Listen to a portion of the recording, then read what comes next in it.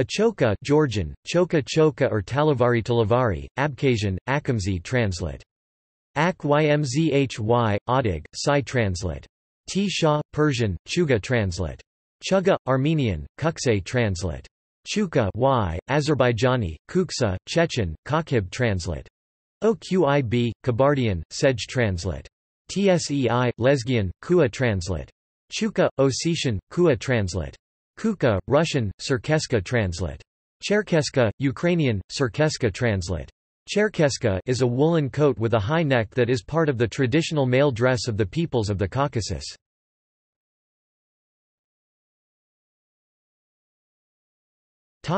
History and revival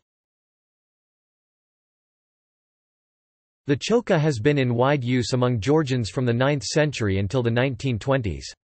It is still used in Georgia as a symbol of national pride, and is frequently worn by Georgian men at weddings and official functions. Worn by Georgians for more than a thousand years, the high-necked wool coat was rarely seen during Soviet rule, but now, for many, it symbolizes pride in the country's past and resistance to its occupation. Former Georgian President Mikhail Saakashvili ordered high-ranking Georgian officials working abroad to present themselves in national costumes, including the chokha, at official meetings.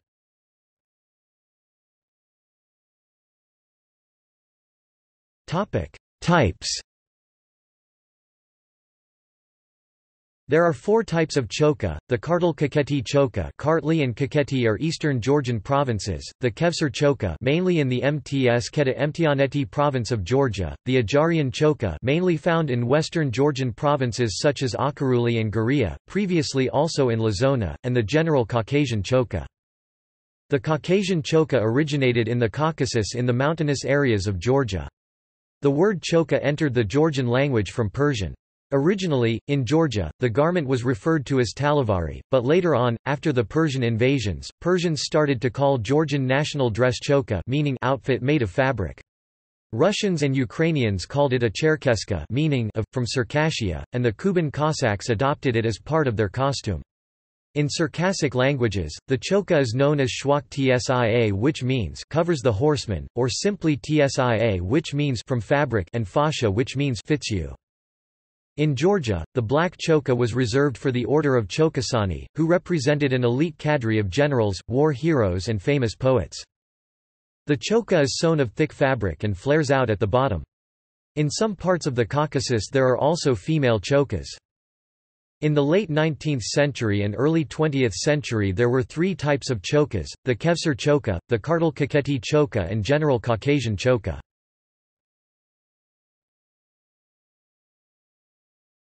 Khevsurian chokha The Khevsur chokha was worn in the Khevsureti province of Georgia in the Greater Caucasus Mountains.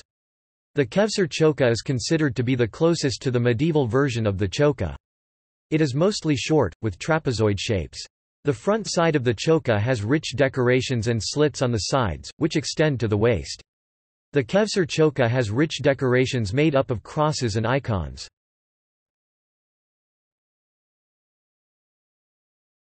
Kartl Kakheti chokha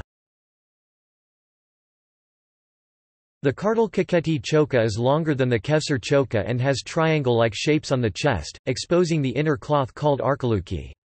It tends to have bandoliers on both sides of the chest—spaces filled with bullet-like decorations called masri. The skirt usually has slits on the sides.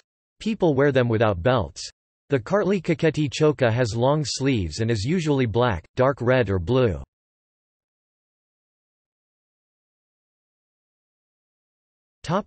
General Caucasian chokha